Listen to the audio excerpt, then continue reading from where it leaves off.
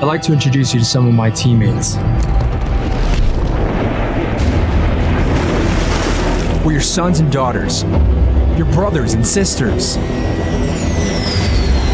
We're not special. We're just the ones that answer the question, who? Who will it be? By raising their right hand and saying, me. Know your military.